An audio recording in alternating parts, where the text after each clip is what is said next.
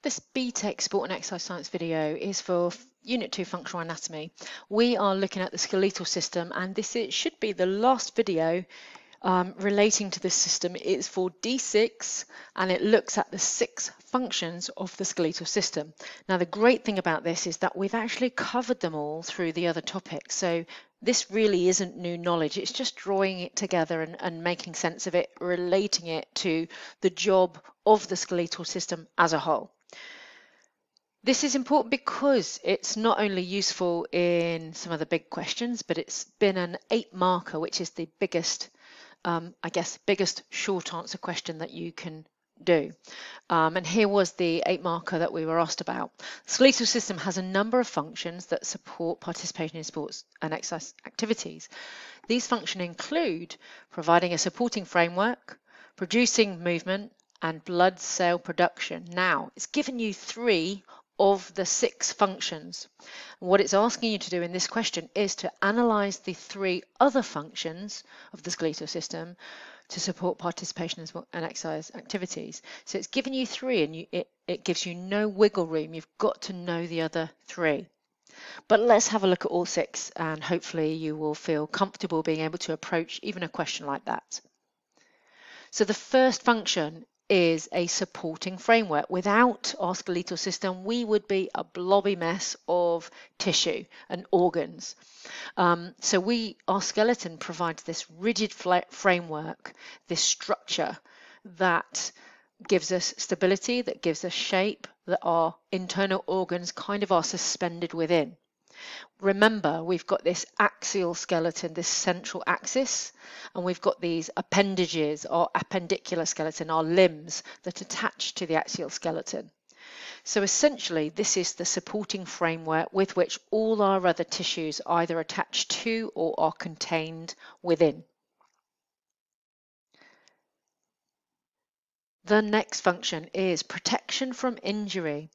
So for example, our vertebral column protects our spinal cord, which is obviously critical for us. Um, our cranium protects our brain.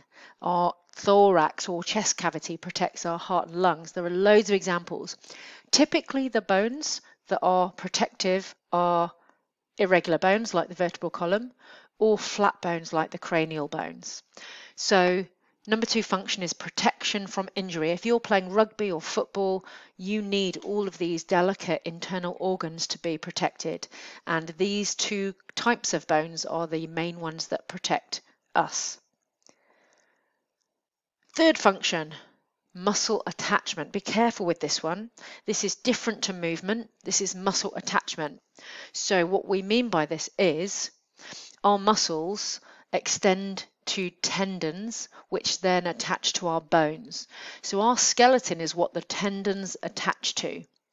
And of course, muscles contract, pull on the tendons, pull on the bones, and movement can often happen. So a, nice example of this is um, long bones, so the humerus. If our biceps brachii contracts, it pulls on this tendon, which is attached to the um, radius, and then our forearm will be pulled up and its flexion at the elbow joint. So because this long bone here has the tendon attached to it, it creates movement. This is another example, the scapula, this big, broad, flat bone. And you can see all the red tissue here is muscles. So lots and lots of different muscles attached to this flat bone because it's a big surface area for that to happen. So I suggest that you kind of pause the video with these slides, take a, a, closer look, a closer read at these, and just make sure you understand it. Some of this is just examples. Remember, we've got bony landmarks. The, the bumps on our bones are often what um, tendons and muscles attach to. So we've got this process here that is where that tendon attaches. We've got a um, tuberosity, a, a bump, a large bump on the side of our humerus, which our deltoid muscle attaches to. So bones are what muscles attach to. And logically, following on from that, movement, our skeleton enables us to create movement because muscles attach to bones and because we have joints or articulations between two or more bones. Um, these bones actually function as a lever system. We've the bones, the hard rigid structures are the levers, the muscles are the effort, the load is either the weight of the limb or whatever we're holding, could be a dumbbell, and we've got a fulcrum, this this um, joint with which movement can happen around. So movement happens because we've got a lever system. The levers are the bones, muscles are the effort. So those number three and number four are kind of similar but a little bit different as well and they need you need to find a way of separating them. Number five, we learned earlier about long bones and how important they are for red blood cell, white blood cell and platelet production. Red blood cells are obviously essential for us and they are produced in the red bone marrow which is in this cancellous bone at the ends of our long bones. Red blood cells have a relatively short lifespan. Now, this has been a standalone question actually. Red blood cells don't live that long, 120 days, then they die.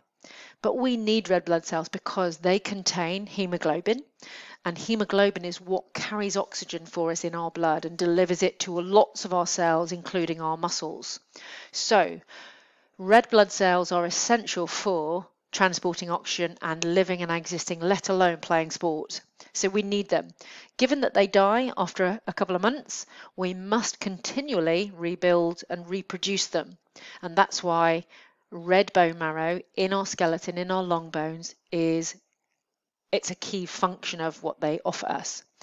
Just as a bit of extra knowledge, the hormone that stimulates the production of red blood cells is called EPO, erythropoietin.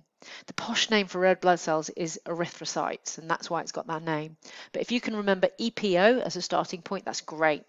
So EPO is the hormone that produces or stimulates the production of red blood cells in the cancellous bone in the red bone marrow and we need it because they don't live long they die after 120 days so we need this constant resupplying of red blood cells just as well, though, it's not just red blood cells that are made there, it's white and platelets as well. The final function is our skeleton acts as a store of minerals. Now, I haven't mentioned it before and I should have done. I've put a little acronym up here because it looks like it's almost like a mirror, SPMMPS. So, you know, shape and structure and support, um, protection, muscle attachment, movement, what was the previous one? Production of red blood cells. And of course, this one is store of minerals. So that might be a little way for you to remember these six functions. So hopefully you know from previous videos on bone growth and bone remodeling that minerals are really important for bone health, for bone density. Um, calcium is essential and phosphorus is really important too. Um, so we need high levels of these minerals in our bones anyway for bone health, but the body has lots of other uses for these minerals. So, for example, for muscle contraction or nerve impulses, we need some of these minerals. Calcium is, is, is certainly important for muscle contraction. What that means is not only do bones need to have calcium for bone strength and bone density, but they store calcium and phosphorus for other body purposes. And when the body, so I've tried to show it down here with this diagram, when the body needs calcium for other jobs, the bones release some calcium into the bloodstream, the bloodstream takes it where it's needed, and there it is, it's used elsewhere. When we eat or consume um, in our diet more calcium, it gets transported, it gets absorbed from the obviously digestion and transported into the blood and then taken to the bones to be stored. So hopefully you can understand that whilst bones in their own right need lots of minerals, calcium, phosphorus in particular, they also store minerals for other jobs in the body. Now those were the six functions of the skeleton that you must know for your specification, but I've added this one just because it's kind of related. Um, hopefully again you remember that we've got this medullary cavity in uh, long bones this central uh, length of the bone here. Inside it is bone marrow and that's basically a fat store. In there we've got a store of triglycerides the form of fat where, that we store and that's helpful for us at times for things like making energy. So whilst this probably isn't listed on your spec and may not come in a specific question, we do also store important triglyceride fats in the yellow bone marrow of long bones. So there's a summary. These are all the six functions of the skeleton. There's our acronym that might help you. Hopefully that makes a bit of sense.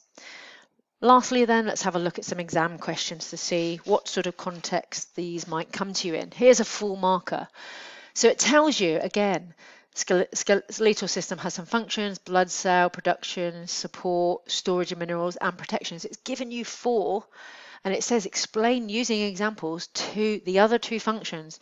Again, I find this a bit mean because it, it means you've got to know all six it's told you four, you've got to know the other two. And it wants you to explain through examples.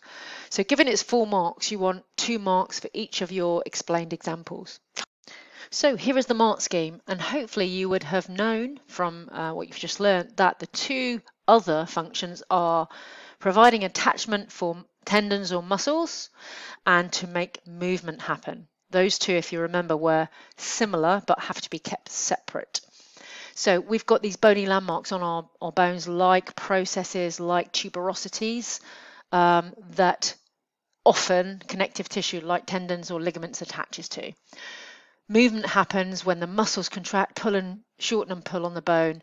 That should, if I think, that should refer to the lever system as well. Bones act as levers to enable movement to happen. Here's another example. Explain the importance of the skeleton in red blood cell production for three marks. So again, I talked through that on the slide. Hopefully you'll recognise the information. They don't live long. We've got to continually replace, replace them. The skeleton does that for us in the red bone marrow um, where we produce red blood cells. Um, and why is it so important? Ask why is it important? Because red blood cells are essential for transporting oxygen as oxyhemoglobin around our body in the blood. I think there's maybe two more questions to go. So here's another one. It's given you two of the functions. It wants any other two. So this is slightly kinder. It gives you a bit more flexibility. So you have four that you could choose from. Examples being storage of minerals, protection from injury, but it wants an example. It says in the question, explain using examples. If you don't give an example, you only get a fraction of the marks. So mineral store, for example, storing calcium. Protection from injury, for example, cranium protects the brain. Hopefully nice and easy. This was that eight marker that I talked to you about right at the start. So it gave you three of the functions and it wanted these other three. And this is how they structure these eight markers. They, these are the basic facts you must include, but they want you to develop that information and give more and more detail about it. And then, of course, relate it to sports science. The question itself says, analyze three functions of the skeletal system. Two, support participation in sport and exercise activities. So you've got to respond to that bit of the question and explain these functions in the context of sport and exercise. So protection from a tackle or headering, for example. So there we are, the six functions of the skeletal system, much of which we knew through the learning of this whole section, and there's the acronym to help you out.